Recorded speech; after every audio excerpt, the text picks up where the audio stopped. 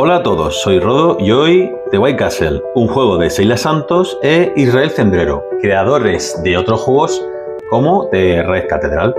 Estos autores españoles pues parece que se están especializando en juegos de construcciones con colores. El siguiente va a ser Blue Lagoon o algo de eso. Mentira, no sé, no sé cuál va a ser el siguiente.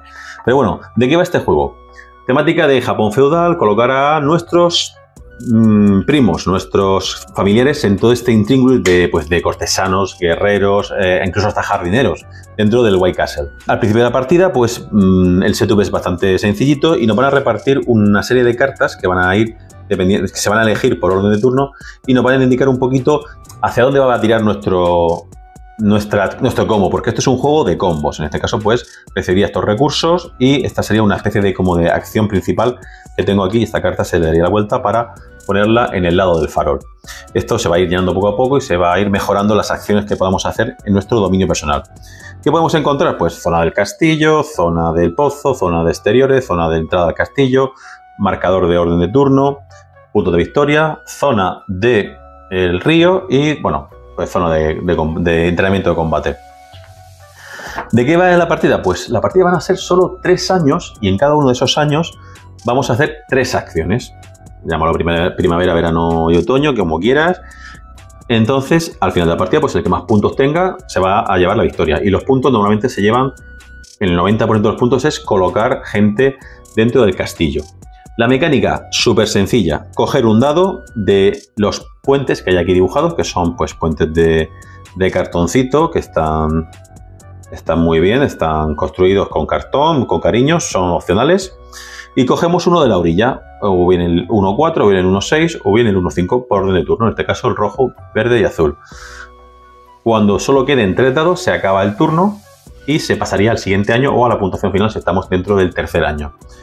Cuando yo cojo un dado, por ejemplo, si yo cojo este dado, eh, automáticamente se renueva eh, el dado en la orilla para el siguiente jugador y este dado lo tengo que colocar en alguna de las casillas, o bien del castillo, del tablero principal, de las exteriores, o bien de mi dominio personal, para hacer una acción. Ese dado, si es mayor que donde lo coloco, gano la diferencia en monedas. En este caso, si este dado que es un 6 lo colocaría aquí en el 4, pues ganaría dos moneditas. Si en vez de ser un 4 hubiera cogido, yo que sé, un 1, y al colocarlo aquí, pues tendría que pagar tres monedas la diferencia entre el valor y el aso. Y hacer la acción que me indica en el dado marcado. Por ejemplo, si lo colocara aquí, pues mm, podría hacer esta acción, que es una acción de entrenamiento militar. Y si lo coloco aquí, pues podría pagar un sello imperial pues, para hacer una acción de puente. Si el dado, por ejemplo, tuviera varios resultados en la misma casilla, si por ejemplo cogiéramos un resultado este de 5 y lo y lo colocáramos aquí, pues haríamos las dos acciones que están marcadas con el color naranja en esta loseta, en esta tarjetita. ¿De acuerdo? Y aparte de recibir el beneficio de dos moneditas. Si el dado que he cogido, en vez de ser el de la orilla derecha, el de la orilla, digamos, mm, potente, es el de la orilla izquierda, que, suelen ser que son los resultados más bajos, además de todo lo anterior, recibiré el beneficio de una acción de farol. ¿Qué es esto de la acción de farol? Volvemos a nuestro tablero inicial y es la acción que aparece aquí marcada con este símbolo. Esta acción se va a ir, digamos, potenciando a lo largo de la partida con distintas cartas y pues cada vez va a ser un poquito mejor si nos dedicamos a hacer este tipo de, de combo, porque este es un juego de combos. Tenemos nueve acciones y hay que hacer muchas cosas con muy pocas acciones. No os he contado ni los elementos que tenemos ni nada, pero bueno, son comida, que va a servir sobre todo para hacer la zona de jardinería, hierro, que va a servir para la zona de combatientes, de samuráis, y nácar o perlas que van a servir para escalar por, digamos, por el entramado social del castillo. Que también nos va a servir, pues cuanto más alto estemos, mucho mejor. Cuando cogemos el dado y lo ponemos en una zona del castillo, pues hacemos la acción que nos dice el dado. Si lo ponemos en el pozo, pues aparte de llevarnos dinero, como siempre, porque este siempre es un resultado de uno, nos llevaremos una pequeña bonificación. Un sello del emperador, que esto es un sello del emperador, no es el símbolo de Tinaranjus, y dos recursos que se van marcando pues con estas fichitas hacia arriba y hacia abajo. Además, esta es una zona especial porque el dado que se ponga aquí no se queda puesto, sino que digamos que se quita para que todo el mundo tenga el beneficio del pozo. En otras zonas del castillo, cuando yo coloco un dado, por ejemplo, si yo coloco un dado aquí, además de recibir la moneda, este dado se queda aquí, digamos, fijo para que el siguiente que quiera poner un dado le cueste, mm, le cueste más. Imaginemos que esto es un 3, por ejemplo, pues al colocar un dado aquí, este le costaría dos moneditas al que colocar el dado ahí. Si estamos jugando a dos jugadores no se puede apilar, pero si estamos jugando a tres o más, pues se puede, se puede apilar y en este caso un solo dado por zona. Mm, no podía poner aquí un tercer dado encima de esta zona. Cuando coloco los dados aquí, eh, puedo realizar una acción u otra, es decir, puedo hacer una acción de puente, que ahora veremos, que es colocar básicamente un trabajador en la zona de los ríos, o puedo hacer la acción de colocar un cortesano en la zona del castillo. Y por supuesto aquí también se puede apilar. ¿Dónde más se puede colocar el dado? Pues se puede colocar en mi zona personal. Aquí, como vemos, no se puede apilar, solo se puede colocar un dado. Y este dado, pues, sigue las mismas reglas. Pago la diferencia, en este caso tendría que pagar una monedita.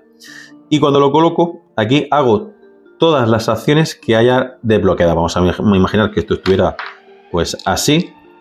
Pues en este caso cobraría tres perlas y aparte un sello del emperador y además haría la acción que me marca en esta fila. En este caso, la acción de puente que sería pues colocar otro muñeco en la zona de los jardineros. Las acciones principales, las acciones más importantes son estas que son pues las que están marcadas con estos tres símbolos que son la, acción, la zona de puente, la zona de castillo y la zona de entrenamiento militar.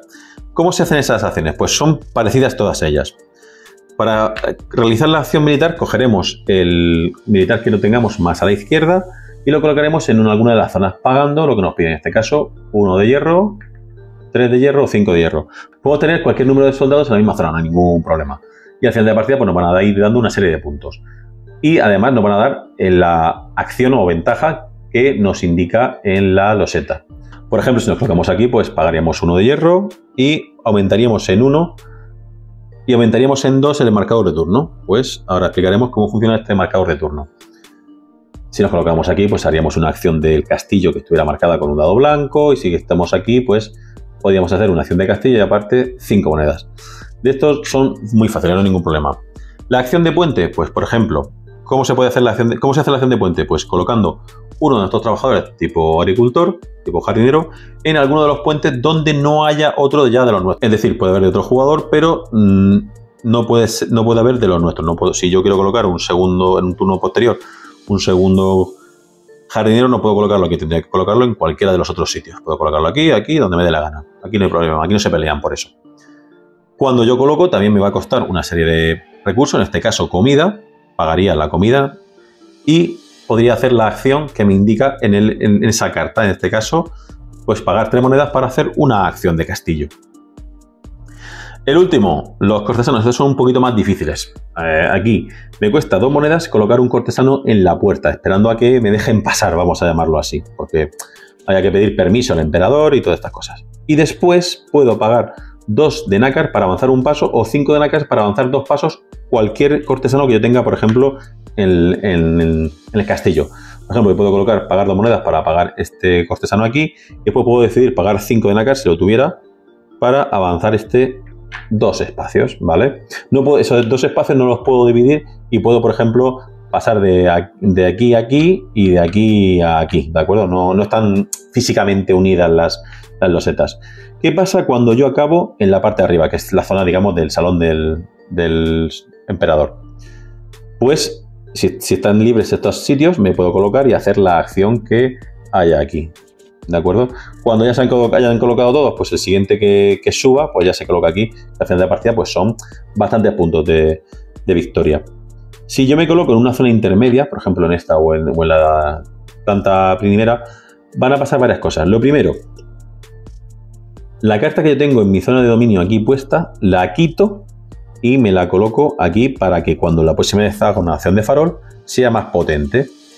Y esta carta la voy a coger y la voy a colocar en mi zona, en mi dominio personal y sacaremos una acción nueva.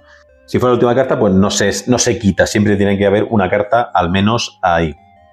Además, cuando coloco la carta aquí, hago una de las acciones de fondo claro. En este caso, pues solo hay una, pero si por ejemplo hubiera un cortesano acabado aquí, pues al colocar esta carta aquí, podría hacer una de las acciones de fondo claro.